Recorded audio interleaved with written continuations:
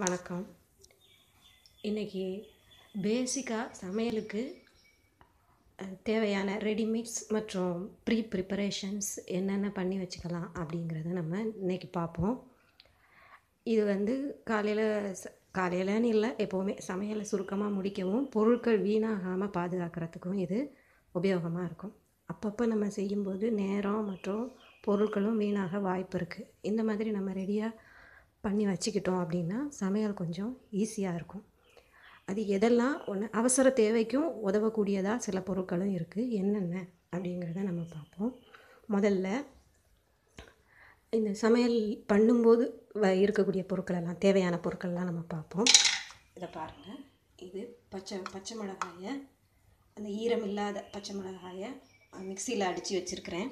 அதை ஒரு கிண்ணத்தில் வச்சு நான் ஃப்ரீசரில் வச்சுருக்கிறேன்.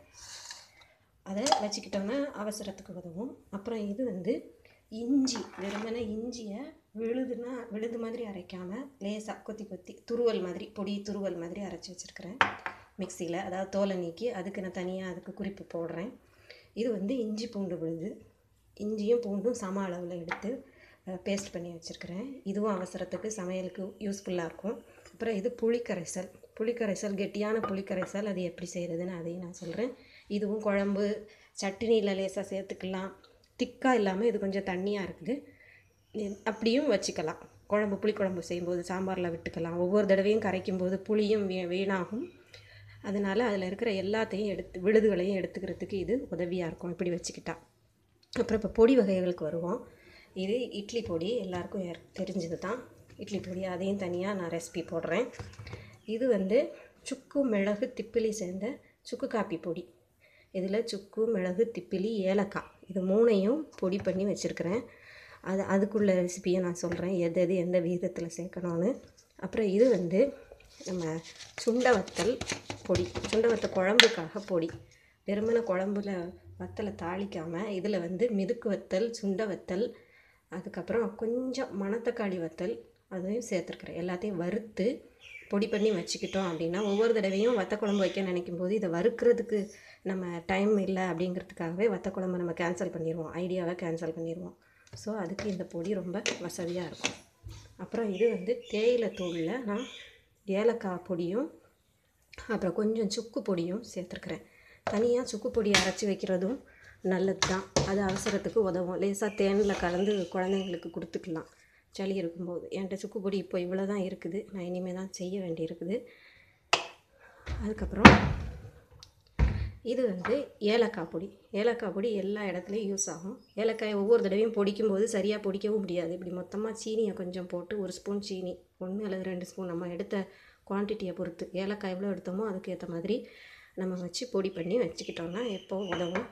அப்புறம் இது வந்து இந்த சட்னி பொடின்னு சொல்லலாம். பொரிகடலை சட்னி பொடி. தேங்காய் இல்லாதது. அப்படின்னா இது ரொம்ப நாளைக்கு அது பாட்டி இருக்கும் கெட்டு போகாமல் இருக்கும். வெளியிலேயே வச்சுக்கலாம். ஃப்ரிட்ஜில் வைக்கணும்னு அவசியம் இல்லை. இதில் பொரிகடலை வத்தல் அதாவது மிளகா வத்தல் வரமிளகா நமக்கு எப்படியும் தெரிஞ்சிடும் என்ன அளவுங்கிறது.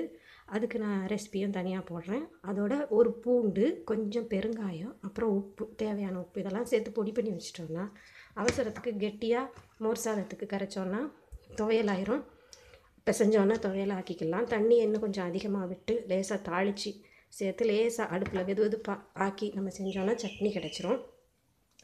அப்புறம் இது வந்து பூண்டு. இந்த பூண்டு வாங்கிட்டு வந்த உடனே தோல் உரித்து வச்சோம் அப்படின்னா அது நல்லா ரொம்ப உபயோகமாக இருக்கும். ஒவ்வொரு தடவையும் தோல் உரிக்க நேரம் ஆகும். அதனால நம்ம நமக்கு இது ரொம்ப வசதியாக இருக்கும்.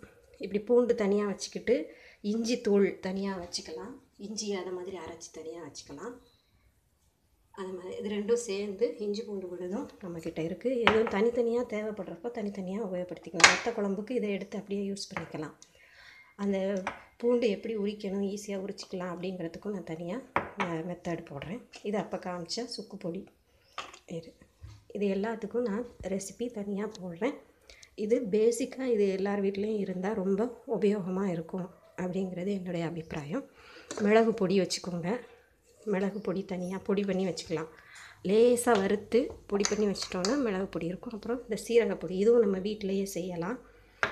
அதுக்கப்புறம் இது வந்து அந்த முட்டை ஆம்லெட் போடும்போது வெங்காயம்லாம் இல்லாமல் சும்மா முட்டையை நம்ம அடுப்பில் போடும்போது இதில் வந்து நம்ம மிளகு சீரகம் உப்பு இது மூணையும் நம்ம சேர்த்து பொடி பண்ணி சம அதாவது சீரகம் கொஞ்சம் அதிகமாக மிளகு கொஞ்சம் குறைச்சிக்கிட்டு கொஞ்சம் உப்பும் சேர்த்து பொடி பண்ணி வச்சுக்கிட்டோம் அப்படின்னா முட்டையை லைட்டாக அந்த தோசைக்கல்லில் போட்டு எடுக்கும்போது மேலே இந்த பொடியை தூவி வச்சுக்கலாம். தனித்தனியாக தூவும்போது சரியாக மிக்ஸ் ஆகி இருக்காது. இதுன்னா மிக்ஸ் ஆகி இருக்கும்? ஈவனாக எல்லா இடத்துலையும் பரவும் நல்லா டேஸ்ட்டாகவும் இருக்கும். அடுத்த வீடியோவில் நம்ம இது எல்லாத்துக்கும் ரெசிப்பியை நான் காமிக்கிறேன் ஒவ்வொன்றுக்கா இதுதான் ஒரு வீட்டில் அத்தியாவசியமாக இருக்கக்கூடிய ரெடி மிக்ஸுகள் மற்றும் ப்ரீ மற்றும் ப்ரீ ப்ரிப்பரேஷன்ஸ் முன்னேற்பாடுகள். இதெல்லாம் இருந்தால் சமையல் எளிதாக முடியும். நம்ம வைக்கணும்னு நினச்ச இதை நம்ம தள்ளி போட மாட்டோம். எல்லாம் ரெடியாக இருக்கிறதுனால நம்ம அதை அழகாக உபயோகப்படுத்திடுவோம். வீடியோ வாட்ச் பண்ணதுக்கு நன்றி.